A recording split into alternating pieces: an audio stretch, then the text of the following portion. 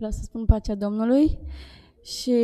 aș vrea să vă spun cum l-am cunoscut pe Dumnezeu și cât de multe lucruri minunate a făcut în viața mea.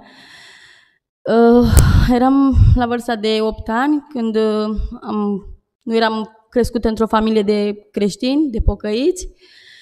Uh, fiind tatăl meu foarte violent, am crescut într-o familie foarte care nu am știut ce înseamnă iubirea adevărată de părinți. Tatăl meu, țin minte că odată atât de mult au bătut-o până când a leșinat și am început să plâng și eu acolo. Eram foarte traumatizată din cauza asta și foarte afectată. De aceea nu știam ce înseamnă iubirea sau dragostea și nu știam ce înseamnă să iubești cu adevărat. Eram foarte distanțată de oameni, eram foarte mai pe înțeles sălbatică de oameni și uh,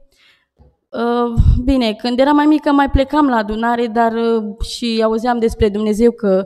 e, Dumnezeu este un om iubitor și vrea să ne salveze și El este gata să vină pe nori. Dar am zis că dacă are exista Dumnezeu, de ce nu vine și în familia mea să facă ceva, să schimbe ceva? Și am spus că Dumnezeu nu există. Iar uh, la vârsta după ce am făcut 14 ani, uh, părinții mei au început să divorțeze, mama mea m-a lăsat, m-a luat sora mea care era, este căsătorită și are șase copii acum. Datorită ei este că ea m-a luat într-un sat diferit față de părinții mei unde locuiam eu și acolo m-a luat ea fiindcă a văzut în ce stare eram și Acolo am început să merg la o biserică care era tot așa cu câțiva membri, nu erau atât de mulți oameni. Și am început și eu și am văzut acolo că cu atât cât ei erau puțini oameni, erau, fața lor străluceau de bucurie și erau foarte plini de,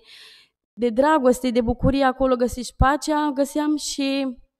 la un moment dat mă întrebam că ce se întâmplă cu acești oameni care erau atât de fericiți și eu nu știam ceea ce înseamnă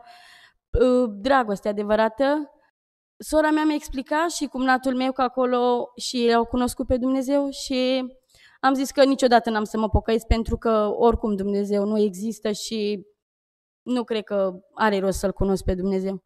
Și la un moment dat, eu fiindcă eram foarte, niciodată nu am crezut că o să mă pocăiesc sau fiind creștină, niciodată n-am crezut că o să am o nuntă de frumoasă și vreau să vă spun că sunt acum căsătorită de 2 ani de zile care nu credeam că odată, vreodată o să am nuntă sau să fiu atât de, nu știu, plină de iubită, vreau să spun, de soțul meu. Sunt foarte, mă simt foarte iubită și în primul rând mă simt și împlinită. Atunci când eu nu eram creștină, mă simțeam, aveam, simțeam cam un gol mare în suflet și credeam că niciodată nu o să fiu atât de iubită și plină de, nu știu cum să vă spun, acum nu găsesc, da, și vreau să vă spun că acolo am cunoscut pe Dumnezeu și mi-am dat seama că